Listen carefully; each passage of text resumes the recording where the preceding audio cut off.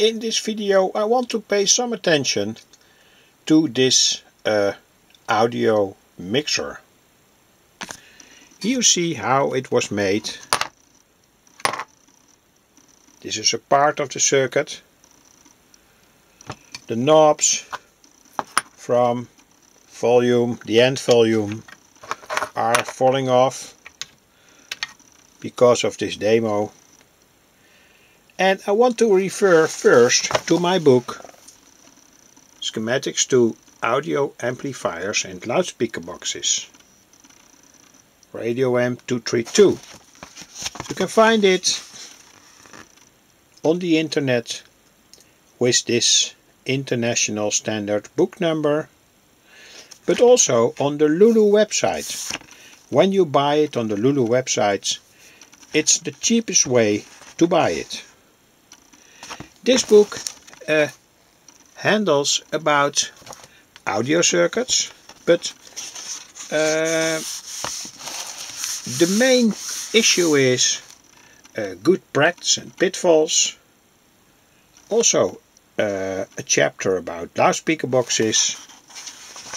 But um, more important is that this book is not a real hi-fi book and then I mean I don't care about uh, distortion uh, figures from 0.001% or so but I care I want to care about a good sound. A proper sound a sound that you like a sound that you can adapt to your own ideas because in my opinion uh, how loudspeaker boxes sounds sound um, is individual is relative. Uh, and sometimes it doesn't matter whether there is distortion in your audio sound. For instance tube amplifiers have um, quite a high internal distortion Mm, of course not all of them, but okay. You see some schematics. But let's go back here to this preamplifier. Why it was made that way and how it was made. Um, three knobs are, four knobs are here. They uh, uh, regulate the volume from all the channels here all the input channels and on the in the middle of the screen you can see now uh, the microphone channels.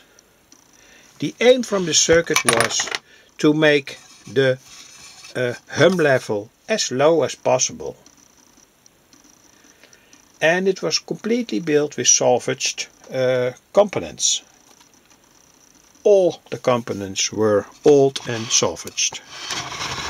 So how to do that? That's the aim of this uh, video. Well, let me give you some tips. Uh, here I slide out the circuit from the box. Now, here's the box. That's the first tip.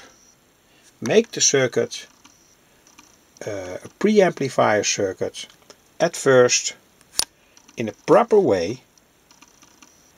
And then after all when it completely works it is completely free of hum slide it into a, a good well looking or not well looking wooden or um, plastic box. So the chassis here has to be made in such a way that the whole preamp is uh, free of hum. And there are quite a few tricks uh, to tell. At first, all the metal parts here have to be connected. So here you see for instance a grey wire that's connected here to the metal here Um, also here there is a part of metal that's connected to the chassis. But the input uh, plugs input sockets are not directly connected to the chassis. They are all isolated and all these input sockets are going to one central point one grounded earth point somewhere in the circuit and that is often uh, the minus from the power supply capacitor. And that is, as far as I can see, somewhere here. This is the transformer, the AC transformer. There is a bridge rectifier here inside. Uh, I want to show it better but in that case I have to um, take the whole circuit apart. But uh, there's a bridge rectifier and then there is a, a stabilizing unit here and a lot of capacitors around it to um, uh, keep the circuit completely free of hum and on my YouTube channel you can find uh, quite a few uh, videos about how to make a completely hum-free power supply. You can also see here that the transformer is mounted in a certain way.